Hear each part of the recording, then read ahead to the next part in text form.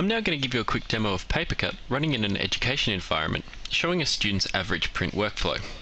If I'm printing as a student, you can see here in the top right hand corner we have the balance window with my current print balance. Printing as a student is very easy.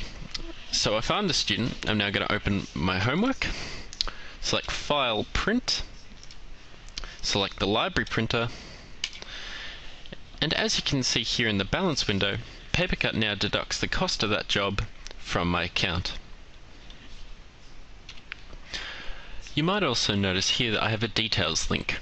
If I click on this, a browser window will open with my user login to the end user interface, so I can see my print history and make some minor changes to my account. Some other more advanced features that administrators might consider including in the student print environment might be a confirmation pop-up to confirm the job's cost and size before printing, as displayed here. Or even bringing in some printing policies from the corporate print environment, such as encouraging the use of duplex printing. And that covers PaperCut in a student print environment.